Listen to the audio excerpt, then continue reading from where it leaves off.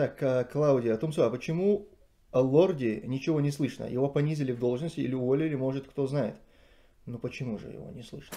Тумсо, изменилось ли твое мнение об Украине и украинцах после начала войны в Палестине? Они ведь поголовно поддерживают Израиль. Э, Тимур, Дикий, знаешь, ты боишься, его очень сильно боюсь. Не знаю, что это, но очень страшно.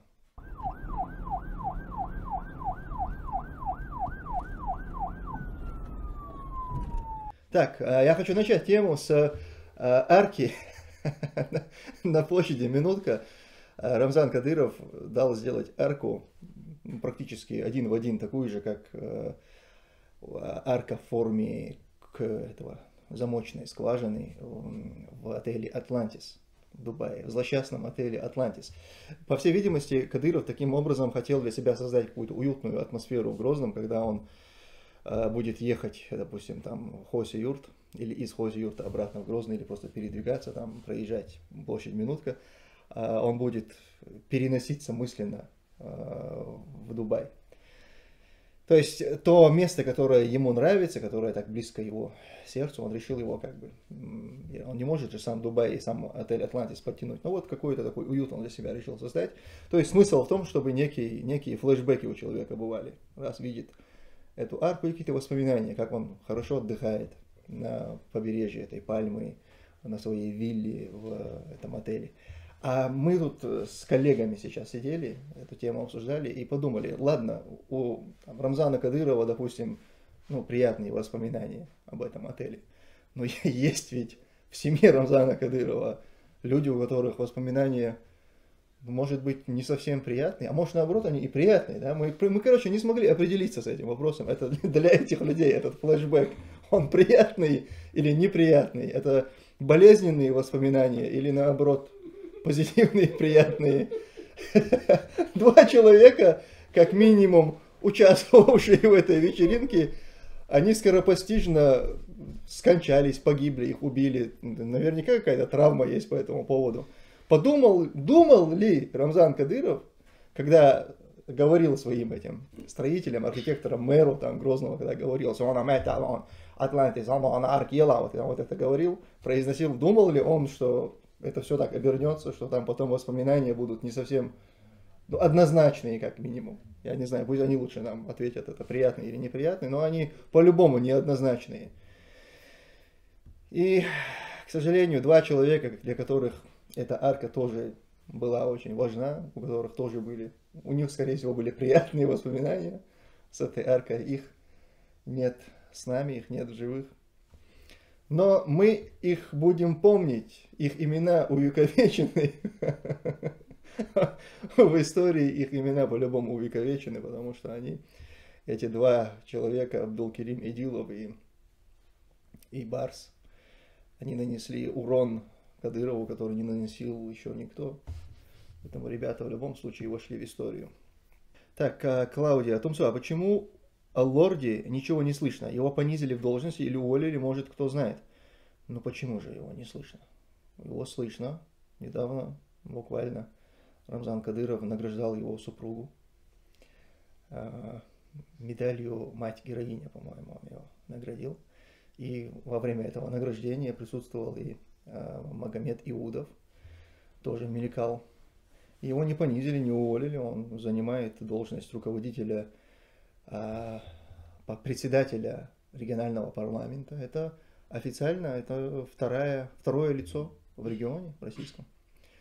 Иерархия такая, что на федеральном уровне у них есть две палаты, там как бы вот это, ну вообще на федеральном уровне есть президент, есть премьер, и руководители, эти председатели двух а, палат, они как бы занимают а, второе, третье, четвертое там, да, место. А в региональном парламенте, в, региона, в регионах там по-другому. Там глава региона, а, премьер-министр это, ну, наверное, он, да, это второе лицо, исполнительная власть.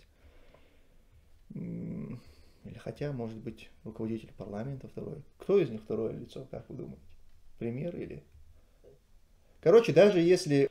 Ипон, Клаудия, дело в том, что на лорда поступила жалоба из, из собачьего свингер-клуба, поэтому Госдура РФ забрала у него карту VIP-клиента. Он, кажется, пытается обжаловать решение. Мы бы хотели, чтобы на Кавказе были объединены этносы, вайнахи, дагестанцы, черкесы, аланы, картвелы. А в каком смысле объединены? Если ты имеешь в виду просто, чтобы в неком союзе, в братстве жили, то да, это нормально. Но если ты имеешь в виду, чтобы создать один этнос, то это, наверное, невозможно. Потому что мы все-таки разные этносы, разные языки, разные культуры, обычаи, традиции, совершенно разные. Иногда удивляешься даже, два народа, которые прям бок о бок живут э, столетиями, а настолько оказываются разными в каких-то ну, элементарных каких-то моментах там а, обычаи, традиции, кто как справляются свадьбы, допустим. В общем, такие вот моменты, и ты видишь, что абсолютно по-разному. То есть где-то то, что, например, в одном народе является нормой, для второго является вообще радикальной какой-то, радикальным нарушением этикета. То есть такие моменты, поэтому, конечно, нет, один, один этнос организовать никак не получится. Да и нет желания такого. Официально пример был бы вторым, то в Чечне же работает все немножко по-другому. Там не должность делает человека, а человек делает должность. Поэтому там второй человек это Магомед Иудов. И все у него, насколько я знаю, нормально.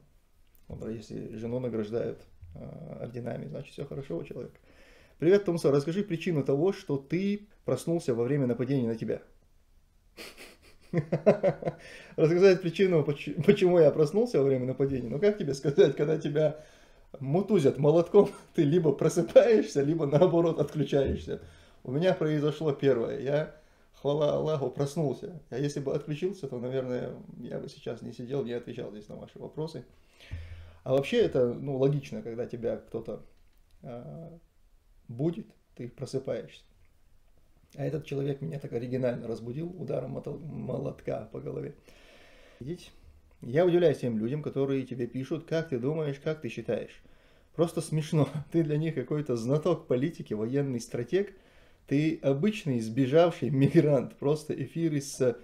Абсолютно верно ты говоришь, Иван Иванович. Но, понимаешь, жизнь, она такова, что не обязательно мнение экспертов должно интересовать людей. Ну, просто человеку интересно. Ты же бывает, что с другом своим э, в кафешке встретился, чай попить, и тебе интересно, что он о чем-то думает. Вот я такой друг, мнение которого просто интересно, чтобы сверить часы. Думает ли твой друг так же, как и ты? Бывает? Поделиться мнением. Не смотри на это так э, радикально. Тумсо, изменилось ли твое мнение об Украине и украинцах после начала войны в Палестине? Они ведь поголовно поддерживают Израиль. Ну, смотрите, изменилось ли у меня мнение по поводу российско-украинского конфликта? Нет, не изменилось. Но разочаровала ли меня официальная позиция Украины? Конечно, разочаровала, очень сильно, огорчила. И я, по-моему, еще тогда говорил об этом. Я вот как начались эти события, я был подписан на очень много э, украинских телеграм-каналов, я отслеживал ситуацию. Как только начались события в Газе, я отписался от всех украинских каналов, потому что ну, сердце просто не выдерживало этой, этих двойных стандартов, этого лицемерия, которое там э, лилось, когда бьют по Э, украинской, допустим, больницы российской баллистической ракетой, это плохо. Когда бьют по э, больнице в Газе израильской ракетой, это так и надо. А, а что вы, мол, что вы хотели? То есть вот эти вещи, конечно, они очень сильно э, огорчали. Но тем не менее, того, что официальная позиция украинских властей по этому поводу огорчает, это не значит, что теперь а, это нужно, что мы это интерпретируем там на, на всех украинцев. И это не значит, что вопрос российско-украинского конфликта, он как-то меняется из-за этого. Конечно, в этом вопросе позиция неизменная, но в целом это, конечно, очень сильно огорчило. Особенно э, неприятно это для тех чеченцев, мусульман в целом, которые сегодня на стороне Украины сражаются с Россией, а для них это вообще неприятная ситуация, потому что они там находятся, они бок о бок э, с украинцами воюют, и тут такая позиция, конечно, это нехорошо.